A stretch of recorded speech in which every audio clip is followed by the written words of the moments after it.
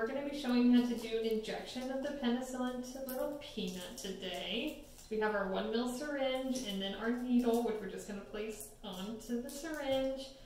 Um, so our dose is 0.28 mils. So I'm going to take the cap off the needle.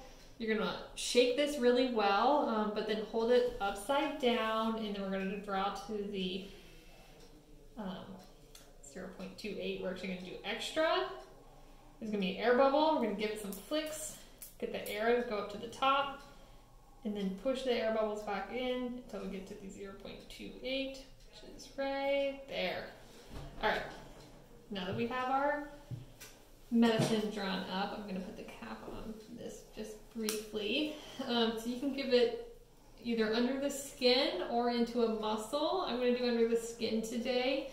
Um, so the best way to do this, which hopefully I we can, it's going to be hard to get on video maybe, is you're going to tent the skin. So you're going to kind of pinch his skin, and then you're going to have a, a little tent right here.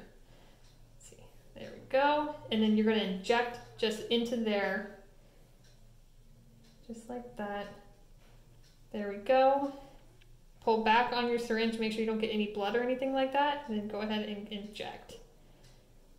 All right, that is it. Um, Good job, Peanut. If you wanted to go into the muscle, um, you basically feel for his um, his little hip bones right here, and he's got nice leg muscles just right here. You can kind of feel they're kind of squishy, and you would just go straight in. Same thing, draw back on your syringe, make sure you don't get any blood, and then inject. All right.